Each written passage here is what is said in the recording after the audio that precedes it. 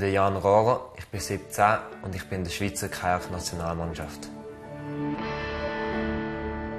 Hier sieht man mich, wie ich täglich auf meiner Heimstrecke in Hüningen trainiere. Wir legen sehr viel Wert auf Technik und aber auch auf Physis, damit wir dann an den Wettkämpfen unsere Bestleistung abrufen können.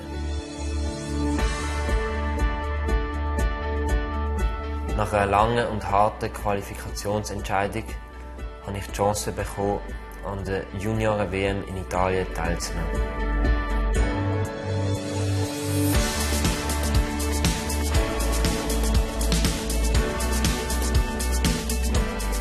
Am meisten Spaß beim Paddeln machen natürlich die Wasserfälle, weil die sind auf eine Art wie eine Achterbahn.